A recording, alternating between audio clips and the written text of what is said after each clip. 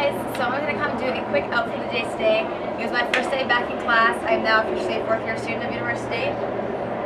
And I felt like being a little snazzy today. Everyone stepped up their game on the first day, so I just did a nice little top knot, some bright red lips, and just some mascara, nothing too fancy on my face. I have this tank top that I believe I got from Charlotte Russe. It's a tube top, and I think it's cut really nicely. I have this little black cardigan that I got from Old Navy eons ago. My bright red jeans that I got from Stitches or Sirens back in December. And then I'm just wearing my American Eagle flats I got from Payless uh, also a handful of years ago. And I just liked it. It's nice bright black and white with a pop of color. And I will see you guys in my next video. See ya!